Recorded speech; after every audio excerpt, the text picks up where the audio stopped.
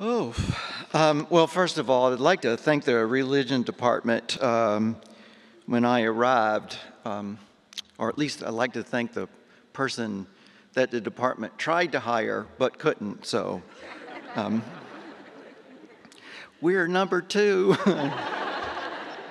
you know, when I arrived at Elon's campus in 1986, it, I have to say it was a very peculiar sort of place.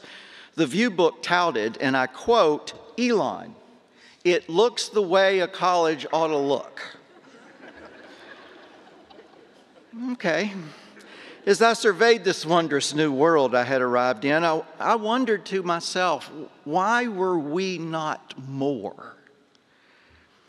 I thought I might be here four or five years and then I'd be off to teach seminary somewhere or the other step on a career, but something happened over those years. This community took me in, they overlooked my flaws, and they supported me through some very, very difficult days. In those years, I saw people who were trying to make Elon better, even as I resisted them. What? You want to reduce our teaching load from nine classes to six? Well, that's another way the man's trying to keep us down. and what we were after was not the rankings, it was the quality of education that we offered our students, the vision that we gave them of what an Elon education meant.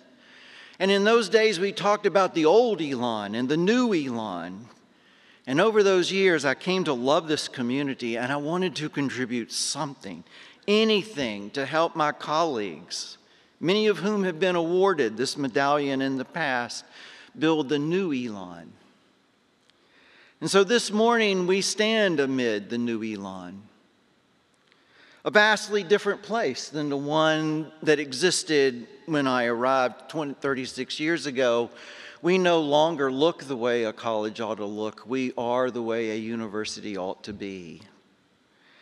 And I, and I hope over the last two and a half years, in the most difficult situation that you have faced as a community, that you're able in some way to maintain that community of purpose for something other than survival.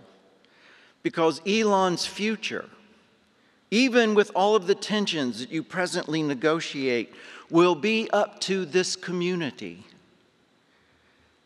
Live into your greatest hopes and not your greatest fears. Because I think that's what we did. And that's why we are where we are today.